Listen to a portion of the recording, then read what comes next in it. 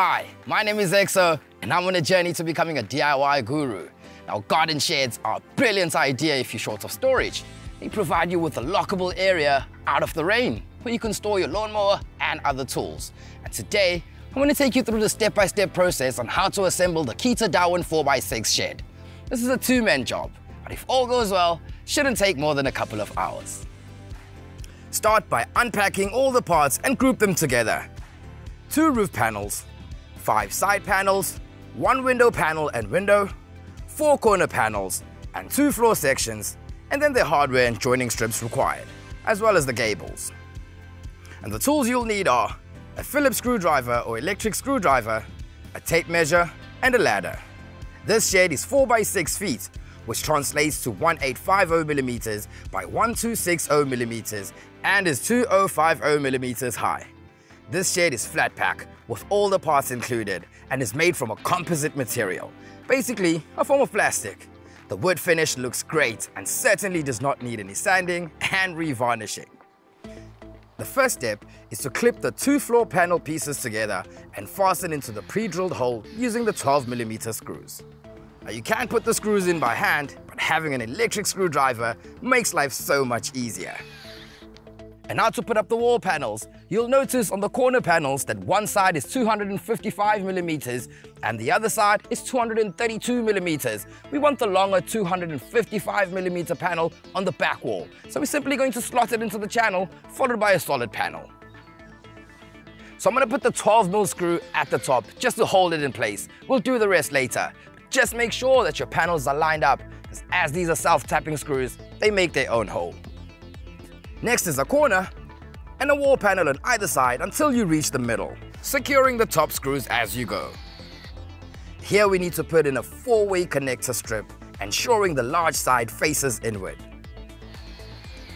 The window can be placed on any of the two sides or the back panel, and I'm going to place it here. Work your way around until you have the walls done. Now along the side where the door will be, we need the shorter 232mm side to be on the front to allow for the door frame. I can now finish screwing all the panels together using the 12mm screws, but not on the four-way connector. We'll get to these later. And as I said earlier, make sure each piece is tightly pressed together and down onto the base. And now to install the door frame, take the two metal strips marked DRT-FL and DRT-FR, left and right, and put them in place by slotting them into the base and then onto the corner pieces and screw in place before assembling the two gables. Just make sure you use the gable with the door cutout on the door end. Slot it into place onto the two metal door frame pieces and secure with 12mm screws. The other gable goes on the other end. To assemble the roof, place these plastic strips along the top of the wall and gable.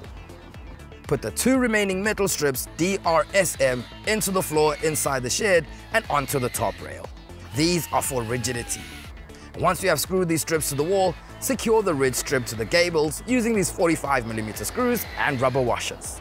And now we can slide the roof sheets which are labeled as DRRT into place and secure from the outside using the 80mm screws.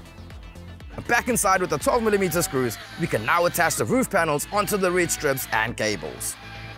Time for the door assembly, so place the last panel face down and push the rubber strips into the edge of the panel before assembling the framework and screwing it in place. We can then attach the hinges to the door, making sure the hinges are on the outside of the door and not on the inside. And then we can attach the door to the frame.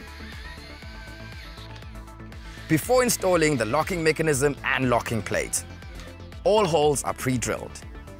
And for the window, stick some of the supplied weather strip on the top and sides of the window before putting it into the opening, top first. Remove the protective plastic and put the pane in before securing the inner part of the frame with screws. The last step is to attach the entire shed to the base using the 45mm screws. That's it! Really easy to assemble and ready for use. Now this is just one of the storage shed solutions available at Builders, in-store or online at builders.co.za. And for more videos like this, check out the blog on the website. Get to Builders, get it done.